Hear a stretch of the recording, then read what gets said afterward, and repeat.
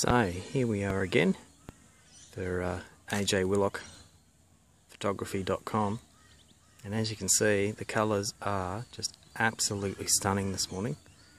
It's really putting on quite a uh, quite an amazing light show for us.